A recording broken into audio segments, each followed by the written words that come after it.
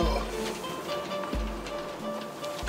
I've just finished wiring up this little gadget here. If you turn it on, you can hear the fan go.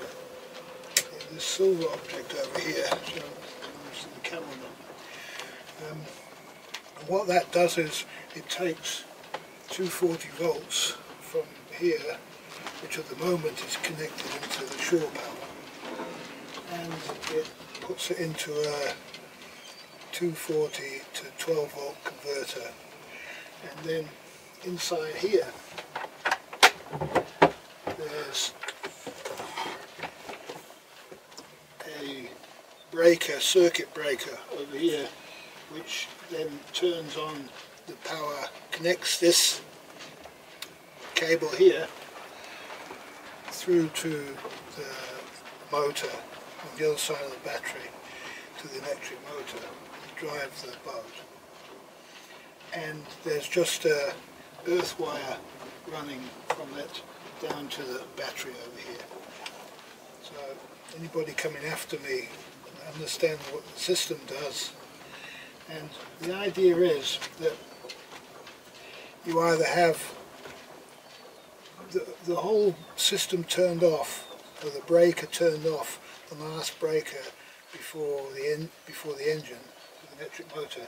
The last breaker you have that off, so that disconnects the battery power, and then you connect this on, and that will then connect it to this power here.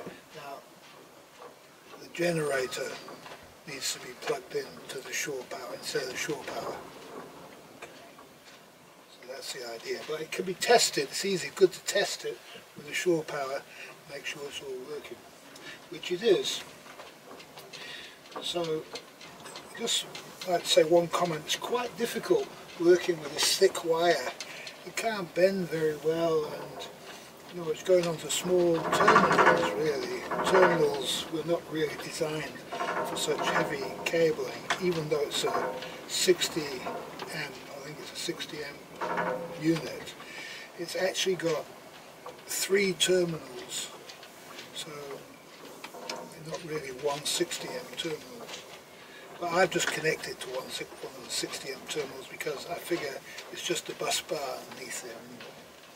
So it should be okay. Yeah.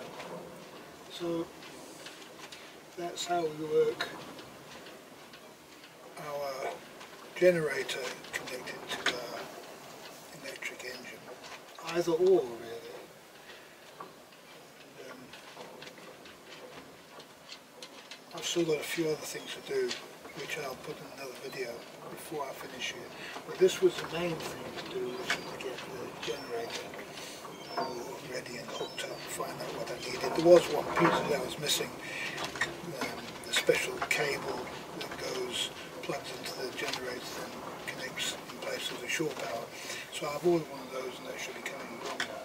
So everything is ready to go as far as a generator running the engine.